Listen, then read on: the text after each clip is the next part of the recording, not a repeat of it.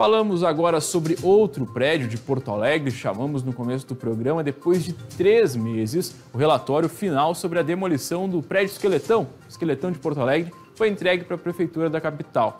Esse documento ele possui mais de 500 páginas e conta com uma descrição dos possíveis cenários para conseguir retirar a estrutura ali conhecida pelos porto-alegrenses. A gente vai conferir mais na reportagem da Suelen Knight.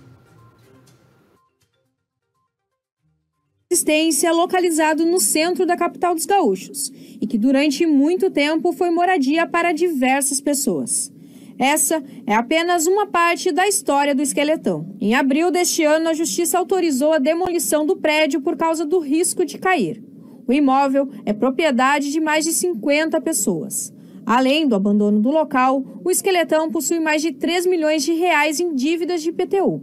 A Prefeitura de Porto Alegre ficou responsável pela demolição, porque os proprietários não possuíam condições financeiras de arcar com os valores exigidos para a obra. A Prefeitura foi condenada a demoli-lo porque essas pessoas não tinham condições de demolir e porque a demolição, pelo risco que, que o prédio tal qual está, um prédio de 70 anos, estava, enfim, ensejando para a população de Porto Alegre e para os prédios em torno, no entorno. Então, o, além do processo de definição da demolição, da contratação de uma empresa eh, que vai demolir, nós estamos também discutir, e já estamos tratando disso, o que vamos fazer com o terreno. Em função do risco de desabamento do prédio e também o perigo para as pessoas e comércios que ficam perto do local, uma empresa ficou responsável por apresentar um laudo final para a prefeitura.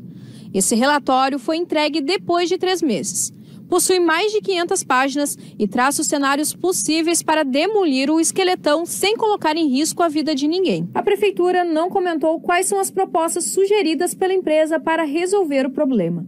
Obviamente que nós vamos buscar o mais barato, o mais seguro e o mais rápido. Então, é essa análise que nós estamos fazendo, depois de definido qual vai ser o alternativa escolhida, nós temos que contratar uma empresa para fazer esse, essa demolição.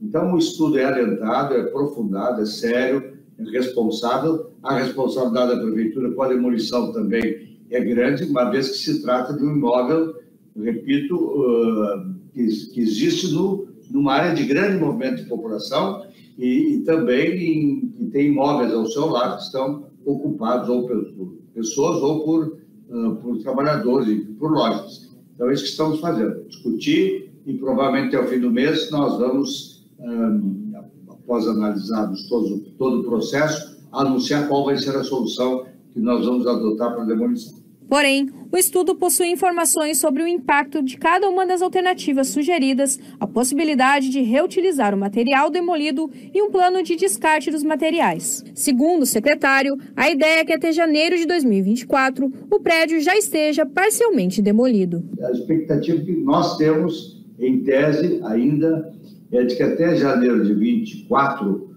nós tenhamos já o prédio demolido ou em, ou em, em fase de demolição bem adiantada. Uma solução em breve para o esqueletão, então, aí.